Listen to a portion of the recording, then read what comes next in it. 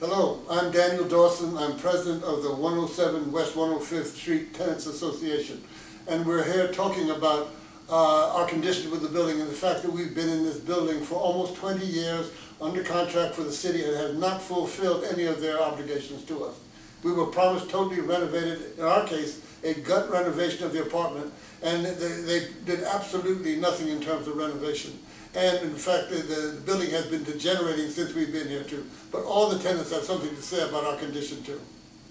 We also went to the classes in nineteen ninety-nine, we were into the program, we went into the program, and they did tell us that it'll only take three to five years for your building to be renovated, as long as all the tenants in the building take the courses at HPD at one hundred Gold Street.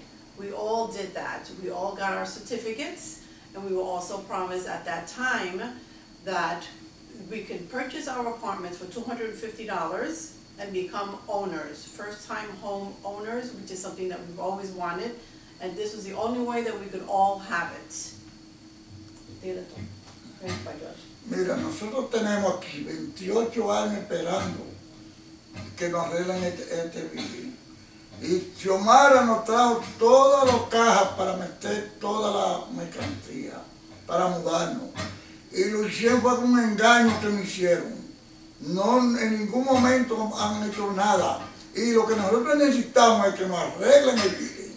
Porque ya nosotros tenemos 28 años para 29 años pasando trabajo. Y, nunca hemos ido a, a la justicia, no hemos ido al juez, esperando por el pedir que cumpla lo que nos, nos dijo que nos iba a promesa. hacer. Andrés Marte Reynoso, que soy yo.